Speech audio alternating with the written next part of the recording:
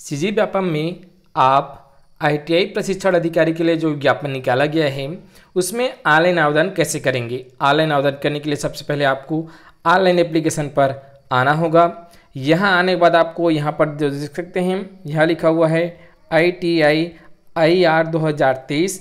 आपको इस एडवर्टाइजमेंट जो लिखा हुआ है, इस पर क्लिक कर देना है। अगर आपने अभी तक नया रजिस्ट्रेशन नहीं किया है तो सबसे पहले आपको न्यू रजिस्ट्रेशन पर क्लिक करके रजिस्ट्रेशन करना होगा। अगर आपने पहले रजिस्ट्रेशन कर लिया है तो आपको लॉगिन करना होगा। न्यू रजिस्ट्रेशन करने की प्रक्रिया हमने आपको पहले ही पिछले वीडियो में बनाकर बता दिया है। अगर आपने नहीं देखा है तो आप डिस्काउंट बॉक्स में जाकर देख सकते हैं। या लास्ट में इंड स्क्रीन में आ गया कि किस प्रकार आप न्यू रजिस्ट्रेशन करेंगे। यहाँ पर लॉगिन हो जाना है। लॉगिन होने के बाद आपको जिसमें आवेदन करना है, ठीक है? जिसमें आवेदन करना है, जैसे कि हम यहाँ आईटीआई ट्रेनिंग ऑफिसर के पदों पर भर्ती के लिए जो विज्ञापन जारी किया गया है तो यहाँ अप्लाई लिखा हुआ है। इसी अप्लाई पर हम क्लिक कर कर ऑनलाइन आवेदन स्टार्ट कर देंगे। आवेदन करने की प्रक्रिया बहुत ही सरल है।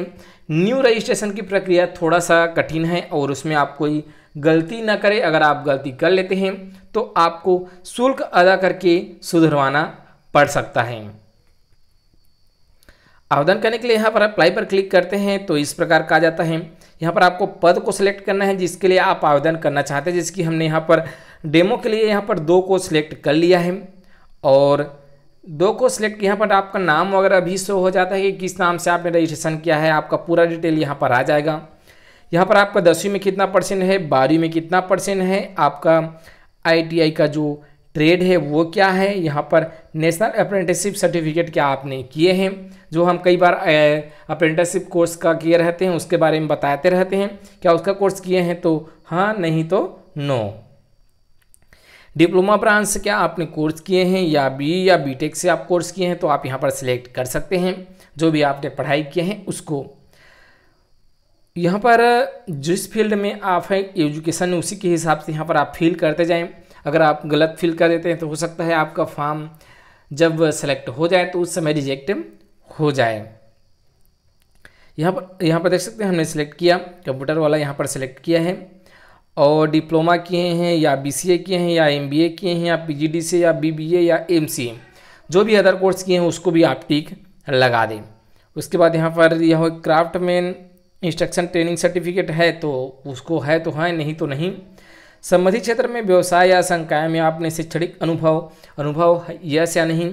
यह जिसमें लाल टिक लगा हुआ है, वो अनिवार्य है, बाकी का अनिवार्य नहीं है। जैसे कि हम यहाँ पर नो में यस में कर रहे हैं तो यहाँ पर अनुभव का डिटेल मांग रहा है और नो में किए तो अनुभव का डिटेल नहीं मांग रहा है। उसके बाद आपको सबमिट में क्लिक करना है तो इस प्रकार कैंसिल का बटन आ जाता है। यहाँ पर देख सकते हैं, हमने पूरा जो मूलभूत जानकारी भरा हुआ था, वो सभी डिटेल यहाँ पर आ चुका है। तो पूरा हमारा डिटेल यहाँ पर शो हो चुका है।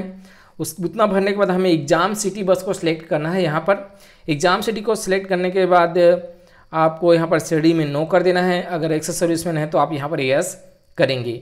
घोषणा पत्र यहाँ पर नीचे में लिखा हुआ है। उसमें आप देख सकते हैं एक्सेस सर्विसमैन आ जाता है, उसमें यस करेंगे तो नो में हमें कर दे रहना है। यहाँ पर मैं सहमत हूँ पर क्लिक करके सबमिट कर देना है।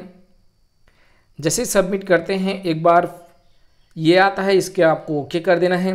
ओके करने के बाद सबमिट कंफर्म पर सॉरी कंफर्म सबमिट पर क्लिक करेंगे, इस प्रकार आपका आवेदन सबमिट हो जाता है। तो बस आज आपको यही जानकारी देना था कि आप आवेदन कैसे करेंगे आईटीआई ट्रेनिंग प्रशिक्षण अधिकारी के लिए।